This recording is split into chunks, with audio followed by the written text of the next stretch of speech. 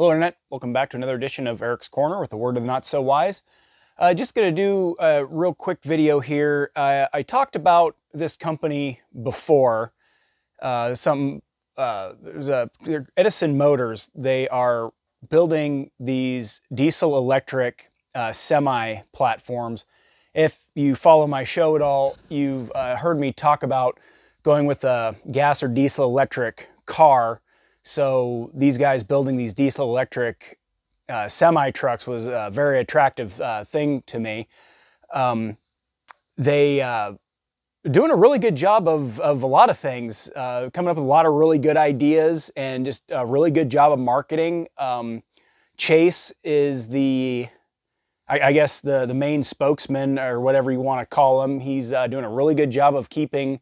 Um, I'm, I'm, following the videos, the, the short videos that uh, he's posting. Did a really good job of just uh, keeping everybody up to date on what they got going on and uh, you know throwing out some problems they're having, how they're fixing them, so on and so forth.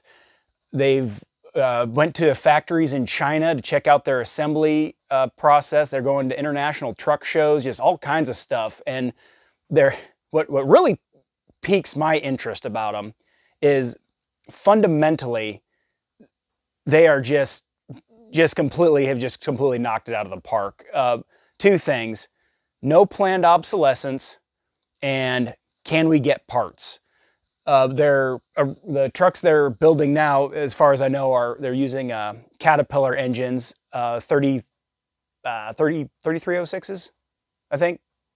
Don't quote me on that. So uh, inline six uh, Caterpillar engine. They're like a 300 ish, 300, 325 ish kW uh, generator. But they're talking about going with a company called Scania, which I'd, I'd hate to see them go away from Caterpillar. But I mean, if if they say that they can source parts better and they've got a product that works better, then let's absolutely go that direction. One thing he talked about is they don't have a DPF on them, a diesel particulate filter. That that's that thing I was complaining about that that uh, destroys the engine in the uh, the uh, the pickup trucks, the Cummins and the Power Stroke and the the Duramax, they got to run that regen and so forth. So this meets stage four um, American emission standards. So you don't some somehow I don't know how they did it, magic probably. So they don't need to have a, a DPF on it, which is fantastic. So no regen mode. So you know idling uh, clogs these filters real bad, real bad, and then they have to regen where we're dumping fuel into the exhaust. I assume the semi works the same. I haven't really looked into it. Um, but uh, there's just a lot of things like when you're running a plow or you got a grader blade and a wing blade and they've got these new controls and it's like well if i have to lift them all up at once i can't do that i need these older style controls where i can lift everything up at once because you know the couple seconds it takes you to change between controls. You're doing 60 miles an hour. Well you know you might have a problem or you might just take out a mailbox or wing blade or, or whatever the case may be. So really impressed with what they got going on. Um, i would highly recommend buying stock in a company like this. Like I said, I've been following them pretty close with uh, pretty pretty great interest because I mean, again, if you watch my video of like, hey, why don't we build generators into trucks, um, and just their philosophy is just correct. No planned obsolescence. If it's got an onboard computer and it throws an engine code, just give me the code. I shouldn't have to plug a computer in when I've got this tablet on my dashboard that can just tell me what the problem is or think the problem is. So they're uh, uh, getting around a lot of future problems. I mean, again, no, you know, don't build something to to only last 30 years. Build it to last 100 because I mean, semis are expensive. They need to have a 50 year working life. I discussed before a vehicle. Okay, not anywhere near as expensive. Uh, okay, 30 years, 300,000 miles. Okay, throw it away. It's it's destroyed by then, especially in a harsh climate like this. Uh, this is a Canadian-based company, so again, they're in harsh climates as well. Really, really cold in the winter and so forth. So yeah, so that's uh, my quick update on uh, what Eddison Motors has got going on. Uh, guys are totally kicking ass. Keep it up. I really look forward to seeing your trucks take over the industry someday. I, I think it's very possible.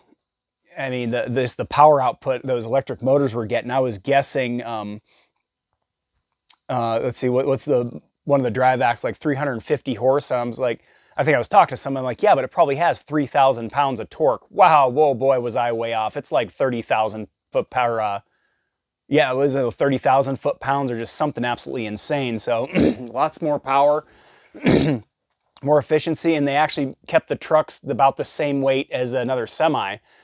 So that's that's really good. The problem with all this battery operated stuff, well, you just added 30,000 pounds to the semi. Wow, good job. So it just, Jesus.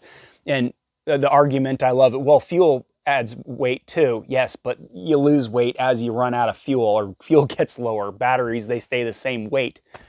so anyway, that's what I got on Eddison Motors. Uh, I'll probably do an updated video because I'm, I'm constantly having his videos uh, hit my news feed and uh, it's, it's, constantly impressing me. And I really, I really got a lot of uh, hope for this company. Um, so yeah, uh, buy stock in Eddison Motors. I think it's I think it's going to go. Might might take a little while, but uh, and like I said, they uh, they've been looking into uh, how factories around the world do uh, put things together. So they should come up, hopefully come up with something very efficient uh, very quickly, so they can get their product to market and start saving us a lot of money on fuel, a lot of money on your your groceries, etc. I mean, it all starts with trucking. You got to get your your building materials, your food, your fuel, you got to get it to market, and that's coming through semis. And of course, some uh, trains, but they're already uh, diesel electric. So anyway, uh, enjoy the rest of your weekend. Let me know what you think. Have a good night.